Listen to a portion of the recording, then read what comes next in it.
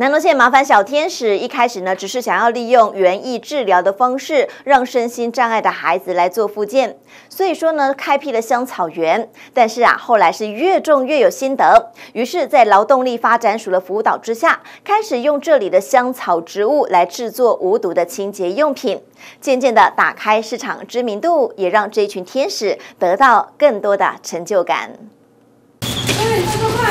学员带着斗笠走入园区，开始做采收动作。生态农场是这群身心障碍孩子园艺治疗的场所，现在更是获得成就感的地方。刚开始我们是发展成茶包、香草茶包，到后来产量多的时候，我们就总干事就想到说，哎，那现在不是有很多像芳香疗法嘛，也有很多就是喜欢接，现在的人都喜欢用健康自然的。产品学人所种的香草植物不仅可以拿来泡茶，看到现代人越来越讲求健康养生，认为有发展性，所以最近他们也在劳动署的协助下，开始用自己生产的香草植物来做清洁用品。然后他们每次在推销他们自己的产品的时候，这个是我做的呢。他们说：“哎，这是洗发精，是我们怎样？我们自己做出来，对不对？”对呀。然后每次都说：“这是我画的哦。”他们会说。这里面的画是我画的哦。一罐沐浴乳，一罐洗发精。好。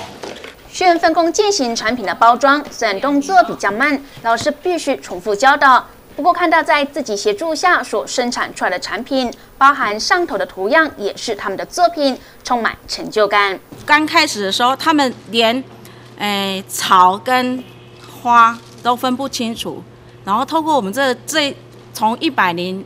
四年到现在的话，他们进步的空间很大，然后最起码他们的脸脸部上面还都是笑容的。难道现在麻烦小天使协会成立十六年，为了让离开学校的孩子继续学习，努力找寻各种学习机会。虽然经费来源是相当大的困扰，不过看到孩子们的笑容，让他们觉得很有价值。记者李云欣、脑先采访报道。